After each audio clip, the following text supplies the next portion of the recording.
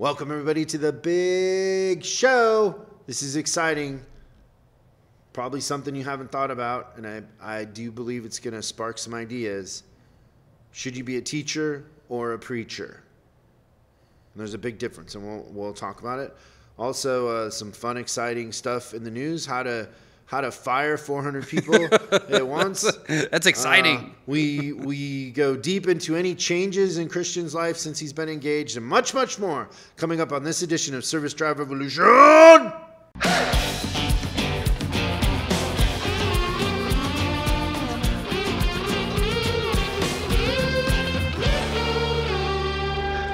In case you didn't know, Christian recently got engaged. Yes. You did not follow my advice and videotape it, I did not. probably because you did not want to play it on the show. that might have You didn't want to evidence of you getting down on your knee, and but she would have liked that. Yeah. But my question is, now that you're engaged, it's been a been a little while. Has your love life changed? Like, has it picked up or has it slowed down? No, it's pretty flat. So it slowed down. No, it's just the same. There's no there's no structural changes other than we're officially engaged. But we lived together before. But emotionally, there's a difference. Oh yeah, so um, so for her definitely. She feels a, a stronger connection. But for you, that isn't translating into your love life. Maybe it should be. Yeah, it's great. This isn't a trick question. You would know. It know. seems like a you would know question. if it had picked up or not. It feels very. If you know how to count, you would know if it picked up or not. oh no. Okay. Yeah, it's it's great. It's the same. It's the same. So why why get engaged then? It's the- the- yeah, the commitment's important. Feels very transactional. No, I meant it from the heart. But nothing's changed. Not really. But we will we, we will keep you updated on this as we People go. are at the This edge of their seat question I right might now. Keep asking. um, so you were just commenting before we went on about how my hair. I need a haircut, but it looks very full. Yeah. But you know what happened uh, the other day? Have, have you ever heard that saying like if you uh, if somebody offers you a breath mint, take it? Yes. And what does that mean? Like why? Just in case you have bad breath. Because you can't smell your own breath. That's right. Okay. So I show up to the gym on Monday, a week ago from today. And my uh, trainer that I work out with on Mondays, that looks like Incredible Hulk, has two gifts for me. He pulls out of his his bag, and both of them are like uh, hair, like going bald stuff. Like one is uh, one he explains to me that you can only do it once a week and it hurts. It like cuts your scalp, like it's got little needles or something. And it's supposed to like massage the follicles, I'm assuming, or something like that? Or declog the follicles? I don't know. Okay. And then the other one is like a cream you put on twice a day. It sounds like a lot of work. But am I going bald? Like, is it like the breath mint thing where like I'm going bald but I don't notice? Like I've always had this calic up here, Yeah. uh, but I mean I don't think I'm I don't think I'm dramatically losing my hair. Like maybe it's thinning, but Yeah, I think it's you got a lot of hair up there still. when Um, he told me that it cuts you or whatever, I was like, I don't want to do that. That sounds awful. Yeah. Yeah. Like I think if I start going bald, I'll just shave it. Yeah, he's uh he's he's kind of uh he's an expert at like the the weird backhanded like passive aggressive like he does stuff like that. It's funny. But he cares. Like I think it comes from it's a place out of love, right? No doubt about it. Yeah but man, it bummed me out. I felt so old that day. Every It's funny, like when I'm hanging out with like my buddies, like the stuff we talk about is like, how many times did you have to get up and pee in the middle of the night? Like my prostate's the size of a grapefruit, and like it just sucks getting old. that heated conversation. Like I don't know, what did we used to talk about? Business or I don't know. going to Vegas. Yeah. Music. Now it's like prostates and hair loss. right. Well, I definitely notice every time I get a haircut, it, it seems like there's a little less hair that needs to get cut. So, It's like, thank God I only had to pee three times. yeah. I really got some sleep. like two's a good night. Yeah, two is two is uh, taking you back to when you were in your twenties. Yeah. so, So- funny. We uh, for all those of you that are still listening, we lost half of the audience we already. have uh, we have uh, the unreasonable hospitality training coming up at our coach meeting. So that's an all-day workshop that they do. Will is going to uh, be a speaker at Top Dog. He's going to come on the show here pretty soon. That's coming up, right? yes. Um, incredible book. One of Christian's favorite books so far this year. Uh, over the last two years, I would say. Two years, nice. I eh, it's in my queue, but I've been writing a book, so I try not to read other people's books when I'm doing that that much. okay. I read it Especially when for I get you. to the end. I've read the leadership book. Like, uh, it's so funny, man. When you write a book, someday you end up hating the book by the end because you've read it so many times. I can only imagine. I feel the same way like bleed. when the when the boys are in the production room filming or editing and stuff like that. Like they watch the same stuff over and over and over again. And Oh, I just feel yeah. I have so much respect bleeding. for them and what they can do. It reminds me a little bit of uh, of my joke inventory, right? Like I've got I don't know if you know this or not, but it's been four years since I started coming on this podcast. Feels like uh, feels like twenty Yeah, it feels like 20 or 25 Every maybe. every week. But uh, but I've got this tremendous inventory of of uh, of essentially dad jokes, right? And like I don't know, I don't even know what to do with them, but uh, I figured out where to put them in a database. Can you hear that laughing off in the distance? Two people. Yeah, that's actually courtesy of Josh, who I had in uh, in our master class last week, and he uh, he threw me a lot of dad jokes, and I'm like, I don't want you to be offended, bro. Like I'm gonna write these down. They're pretty good. That was that was uh, fun. But pe- pe- so new clients coming in come to a boot camp. You call it a master class. I do. but it's more like a boot camp. Um, and uh, we had a good group this time. They were fun. Uh, what was I going to say though? Oh, back to unreasonable hospitality. Here's the thing that I want to tell everybody, and please listen. If you're in coaching and you haven't signed up, you better hurry up because this thing is almost full, and uh, I don't want your feelings to be hurt, but we only have so much room in here. That's right. It, it's so uh, the problem with with uh, you know doing this is uh, we're we're capped on space here at the library to I don't know hundred we're on the verge of logistical concern, is what I would say. yeah so I don't want to hurt anybody's feelings. I you know I always feel weird when people are excluded. The reason why I don't do the the give away my car thing is because the it hurts me too much to see the people that don't win Yeah. that tried so hard. Breaks my heart. Um, so don't hesitate. Hurry up and sign up. You- RSVP Yeah, you don't want to miss this one. okay or what's in the what's in the news Christian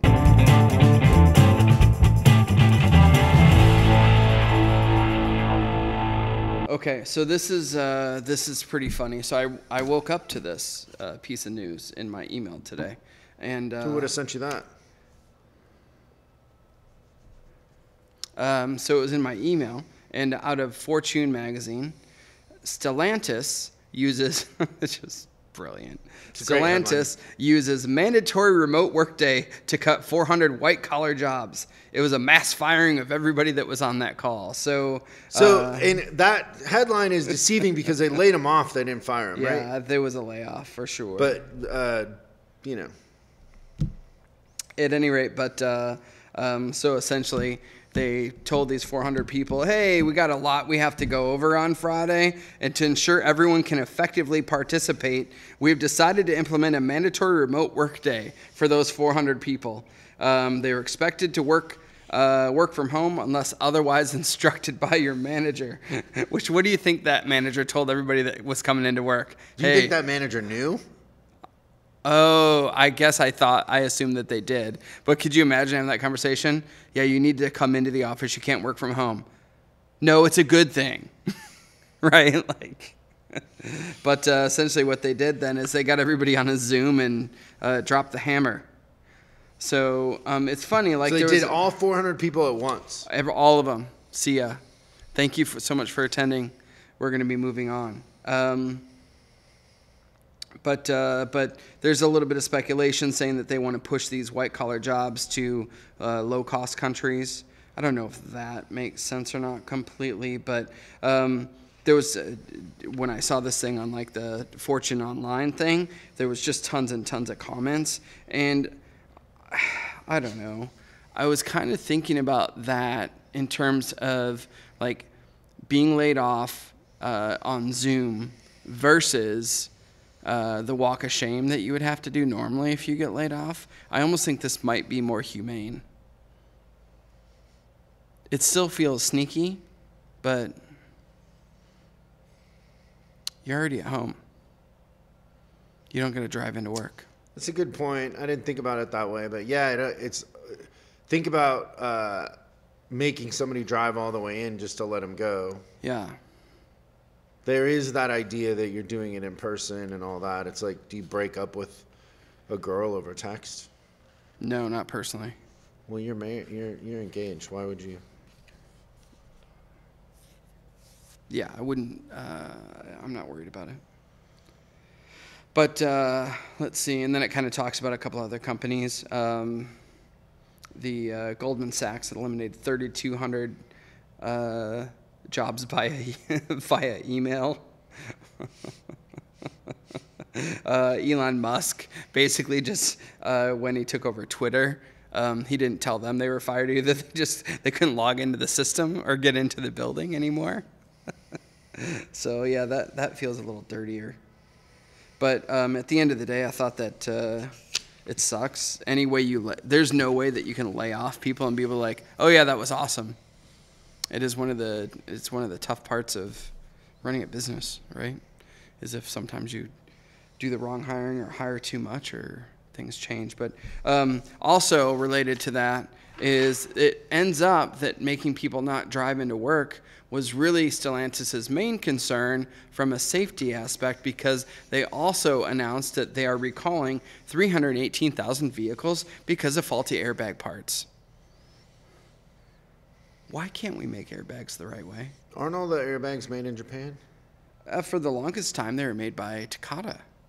Isn't that Japanese? Yeah. Yeah. Um, but yeah, so we just uh, we don't make airbags that uh, that work right. Three hundred eighteen thousand. So What's that recall gonna pay? three tens probably.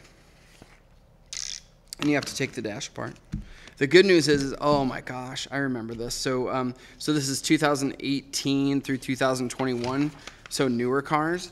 But I remember down in Florida when uh, Stellantis had a recall on the Ram trucks, and imagine just being down in Florida for years. And this was like it'd be like a this was 2016, so it'd be like a 2006 Ram truck, and literally the dash when you try to do the airbag recall just turned to peanut brittle, and it would just like disintegrate while the technician was trying to take the airbag out of the car. Oh, and by the way, they didn't pay for it if the dash broke. Who paid for it? Uh, the customer, or in some some cases, we ate it. It was tough. Wait, you were uh, working in a Dodge dealership in Florida? I thought you were at a Volkswagen dealership. I went to the Dodge dealership first. Oh. Same company. What just- happened there? Oh, the job ate me up alive. I was working mean? from 7 a.m. to 2 a.m. That's what you do now. Not quite to 2 a.m. At least I work from home for the last six hours of the day. But yeah, it's a little You know what I, my now. memories about a Dodge in Florida are? No, tell me. That time when we were pounding down the whatever interstate there, the, The four. intercontinental roadway or whatever they call it in Florida, and you're putting on your makeup and drinking your Starbucks and playing around with your texting somebody trying to switch the song. I think I had my laptop. Meanwhile, there was a uh, accident in a construction zone during the rain. Yeah. All that stuff. and you noticed very late dynamited the brakes. Your anti ABS kicked on. Oh yeah, they were so that? loud. They were so Clunk, loud clunk. on that truck too. Yeah. It's like like that. And I think. I was trying to take a nap. You had napped successfully up until that moment. Yeah, and I was can't. I'm not. way to wake I'm up. not sure if you woke up because of that or right before it, but it was. It was really really close. Nothing makes me nap quicker than a road trip. Yeah. Oh my gosh. There's a Chris doesn't have a lot of stress in his life, but one of those stresses is the No, a lot of them to- have something to do with your driving. yeah, exactly. I'm probably three of the top The five 10 stresses minutes it took life. you to hit me with my jet ski on my jet ski. That was the only time I did it. The whole rest of the week it was great. Because I stayed away from you. That's true. I'd like chase you and you'd keep going further away. Oh my god. I kept my angles. I never put myself in that situation again. The uh, And then what about The jet jumping skis the? had, like, what about jumping the the what do you call that? The roundel? the roundabout. In, Yeah, the roundabout Cincinnati. in yep. Cincinnati. Oh, my Oh, god, you're a terrible driver. Yeah, that wasn't even my vehicle. Your driving is legendary. It's it's getting that way. No, that was that was a situation where we'd had a lot to drink, and you don't you don't usually drink, and so he was like, "Hey, drive my truck back to the hotel." Yeah. and uh, yeah, and so it might have been better to have somebody drive drunk, which I'm not condoning. Like, that's a statistically, hard though, thing to right. say, but uh, yeah, It was also only like three blocks. And we'd only had a couple drinks. Yeah, but I did not drink, so I was the designated Right over the top of that dude. Punk, clunk, clunk. Shortest distance between two spots is a straight line. Interesting when when you go from concrete to grass in a truck. Yeah. from asphalt to grass. yeah. There's a couple of stories like that out there. Ah. Yeah. What should we Okay. talk about today? Teacher, not a preacher. Nobody likes the preacher. Teacher, not a preacher. Well, I think there's a lot of guys out there that are preachers, but not me. I'm a teacher. I'm not a preacher. I'm not the motivational 10x. God, go get it. I'm not that guy. I'm more of a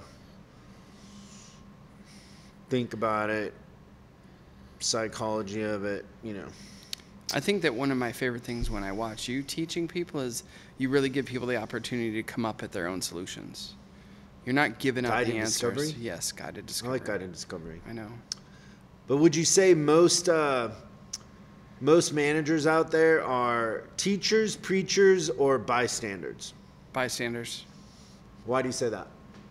because they're uh, I, I think a lot of times the people that i come in contact with when it comes to um, training their people they're waiting for it to happen like it's a thing that um, that they don't have to actively participate in So I was watching a video from this professor that was in on and had studied the nine dot exercise. Mm-hmm. Are you familiar with the nine dot exercise? very Very familiar with it. Explain it to the audience. so you uh, so you have the piece of paper that's put in front of you it's got nine dot dots it's laid So in a three rows of three? It, it looks like tic-tac-toe is what it always reminds me of but yeah so three rows of three and the uh, The objective. The, the objective or the rules of this thing are that you've got to um, have your pen where you can't lift it off the paper, and you have to make four, use four lines without uh, taking your pen off the paper and connect all the dots. So you can do like four turns, if you will. right. Now it's hard to do. Extremely. in the in the the professor was talking about when they were studying people doing it the secret to it is to think outside of the box so what happens is those dots and look it up if you're not familiar with it but just type into google the nine dot exercise and it'll come up those look like a box so it looks like a big box with For sure. boxes inside of it right because like you said tic-tac-toe the idea or the thing that corporate America took away from that exercise is in order to do that exercise, you have to think outside the box because you come through the middle, right? And then you almost are drawing like a uh, like an arrow in a way. but it's not intuitive whatsoever. And what he was saying is when they were doing the experiment with the nine dot, getting people to do it, they started telling them you have to think outside the box because usually what happens is they they started and then they go around the outside and they realize they didn't get the middle. Yeah, or, they miss it. there's a bunch of things that people normally do, but it's rare somebody can figure it out on their own. And so he said when they would tell people to think outside the box, it did not help them anymore. In fact, that just confused them more. It made it worse for them. And so he said the only way for them to learn it is to show them. Yeah. And it made me think about how often we overlook that in our industry in the sense that we don't think of ourselves as teachers. But you you're a te- like most of what you're doing should be constantly teaching. Teaching, asking for uh, feedback and comprehension and then teaching and then comprehension and then teaching and comprehension. Right. right? Over and over and over again. And um, you know I've, t- I've said this before but one of my mentors don crevier when i became a general manager um, i'd never held a sales meeting before.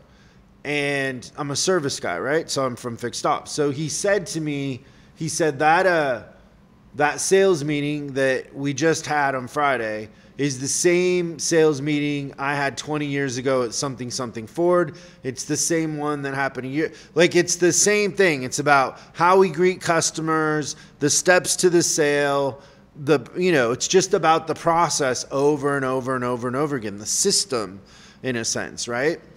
And um, that always kind of stuck with me is it's like you're not even today we think like tablets and video inspections and all that but all of those type of things are still an outcome of being able to do a good inspection it doesn't matter if you're doing a video inspection if you're not doing a good inspection That's right. right? And so it's the same thing with walk arounds. It doesn't matter if you're doing a walk around if you're not connecting and making friends with the customer and building trust. It doesn't matter, right? And so the going through the motions and checking a box is what happens if somebody's left to their own devices, right? Yeah, they'll do a walk around, but a teacher is the one that gets them to do a walk around with the outcome that we want. It's getting them to do an inspection that uh, you know really does cover everything and is uh, consistent and complete every time, taking the customer into consideration. You know. Yeah, I think the teacher adds um, inspiration and understanding to why we do the little things that we do. So it's not just a box check. It's actually a, oh, there's an end purpose to this. And the one thing that I think happens in every industry, not just us, this happens in professional football, this happens in restaurants, it happens on people trading in the stock market, it happens in politics, it happens in every single sort of career that is performance based is once we get to an elevated level, the first thing that we start to neglect is the fundamentals. In football, it's the tackling, Yep. right? Last year, the Seattle Seahawks were terrible. We couldn't tackle. We're like third in the NFL in run defense. Also penalties too, right? Those basic things. Freelancing, penalties. But We're all too, you know, we're all getting paid a bunch of money and we think we're, you know, but we forget that it's about tackling. It's about, you know, think about the wide receiver that starts to run before they catch the ball. Yeah. right? Like, or the that wide receiver that anticipates the hit before they catch the ball. They don't end up catching the ball; they drop it. And so it's the same thing with us. Is the thing that we need to be teaching more than anything else is the fundamentals. And what do we overlook? We overlook how we answer the phone. We overlook how we. Uh, describe a, a problem on an RO, how how we put information into a repair order, how the technicians put their stories into a repair order. We overlook how we do a walk around. We overlook how we do an inspection because we start to think, "Oh, well those are those are things that you should know." But the truth is that the magic and the gold is in how we answer the phone. It's in how we do an inspection. It's in how we catch the ball and how we tackle. That's exactly right. And so teaching is about back to the fundamentals over and over and over again. And one of the things like that you you notice, like say in the shop, you take a veteran old wily technician and you give them a mentee to train. The first thing that you will notice in that old wily veteran is that their fundamentals get better again because they have to teach the fundamentals. So their inspections get better, they'll start flagging more time because they have to be an example and that forces them to revisit fundamentals, things that they took for granted, right? Little things like, "Oh, I order I go get I order the part before I go pull in the car." Like they start to to uh, take shortcuts and they forget about the fundamentals. Um, the other thing I think about being a good teacher is it's not just about being the teacher, it's also about the systems that you put in place. Form equals function. Do you have any idea what that means? About form equals function, essentially just that uh, that if you're designing a service drive and the way that you greet a customer, um, the way that you walk out is kind of all built for the intention at the end of the day for them to have a good experience. Let me give you an example. If Yes. you're a school bus driver and you have 32 kids to pick up, and you do that with your Kia Santa Fe, how's that going to work out?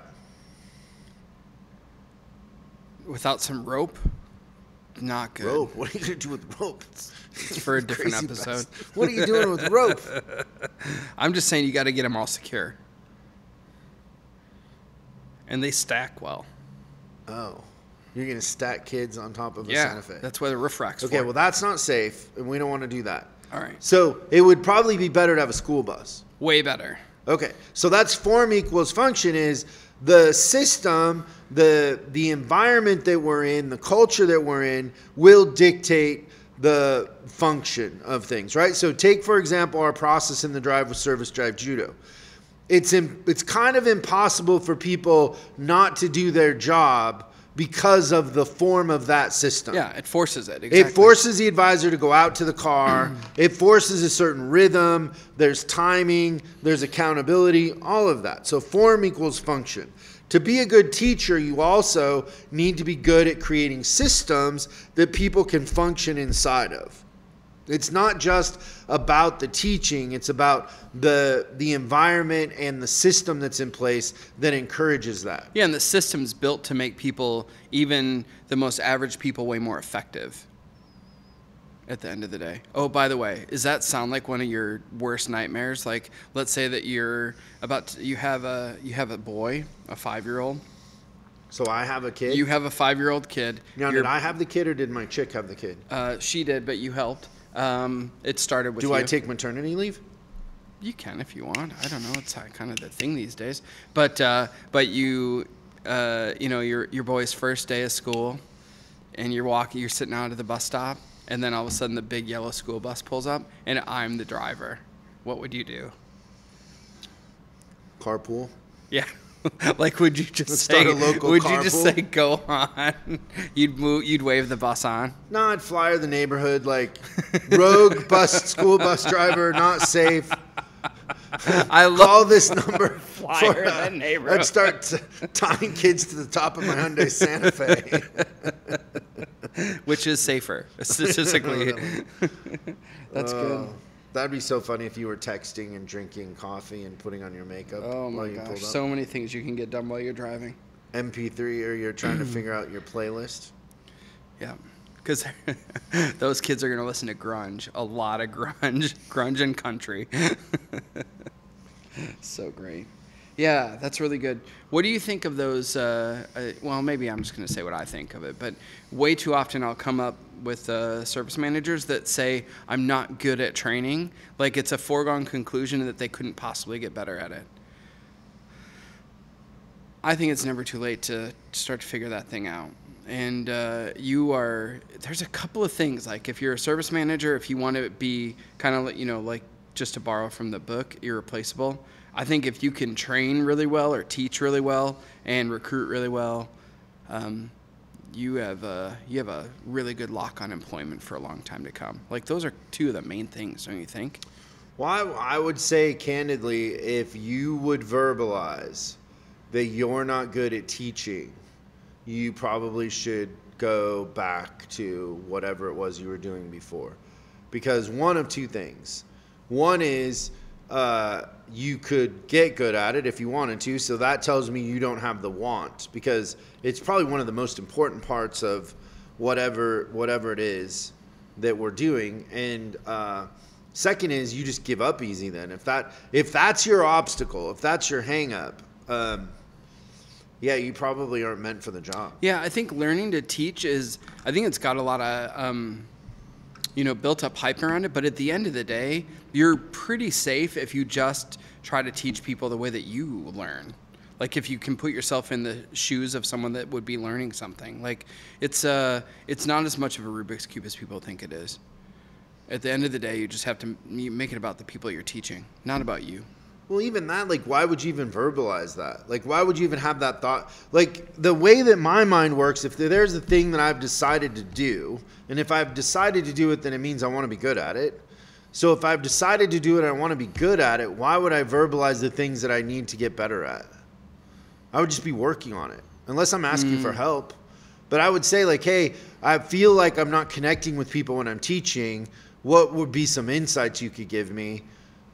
Way over I'm not good at it. That's like giving up. It's yeah, like, I'm not good at it, it's giving up. But if I'm trying to get better at it, it's way Oh, I would ask. I would be like, what insights do you have? How do you know, what have you learned? That you know, that's a that's a uh, mindset that's trying to get better, not a mindset that's a step away from giving up. Right. Like if it's that easy to get you to give up, give up now. Yeah. Good. Any other uh, tips or tools? On the teaching thing? I think it's an identity thing. I think you ha- as a as a manager, you have to think of yourself as a teacher, and you can't get bored with it. It's the same that that Donnie story about it's the same thing over and over and over and over and uh, you try to find new ways to gamify it or a new story or you know having somebody else do it like have somebody who's good at it. So say you got an advisor that's really good at walkarounds having them talk about their you know their version of walkarounds.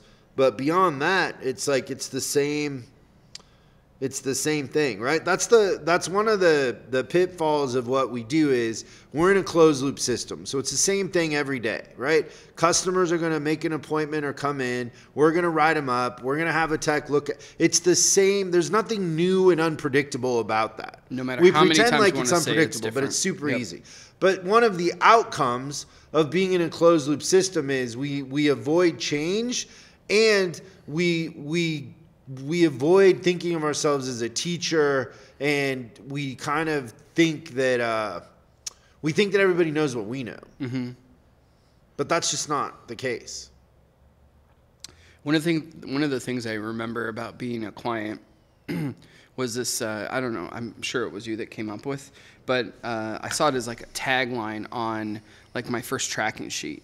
It was like at the top of the tracking sheet, and uh, it said, uh, training isn't something we did, it's something we do. Do you remember that? Yep.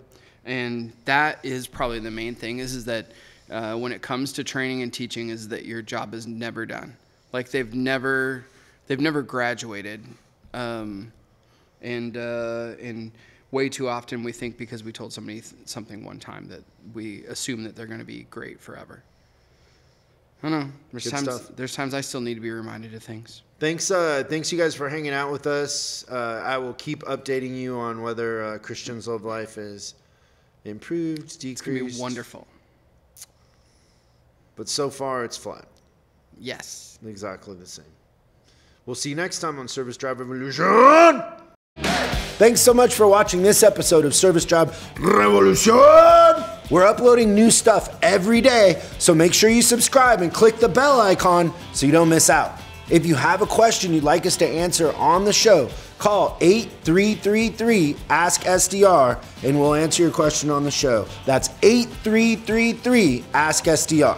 For special deals on our books and training, head over to offers.chriscollinsinc.com. Now that's offers.chriscollinsinc.com. I'm Chris Collins, and I'll see you in the next video.